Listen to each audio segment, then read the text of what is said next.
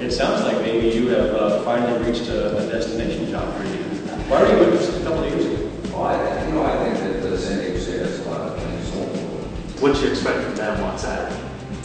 I expect from the, all the Aztec fans to be in the game, supportive of the home team, uh, respectful of the visiting team, and help us on to victory.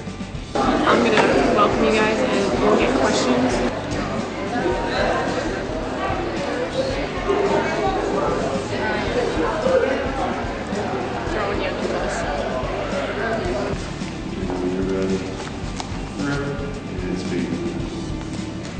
Ryan Lindley, quarterback, San Diego State. Know what the position we're in, and, and I think we're, we have the talent, we have the ability, we have the team to, to be a BCS school, but at the same time, we don't get the respect we deserve. I think we'll have your answer right into the glass here. You're looking right into people's eyes at home, so as much as you can contact with that, it's a good thing. Um, your thoughts on the addition of Boise State to the conference?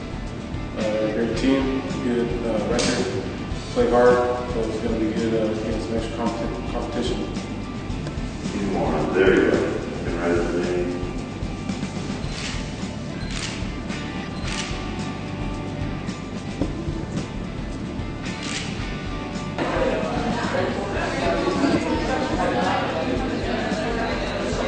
Three, two, one.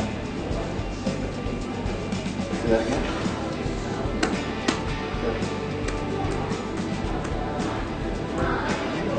Is there a place that you just seem to feel comfortable with that stadium and you always have a good game?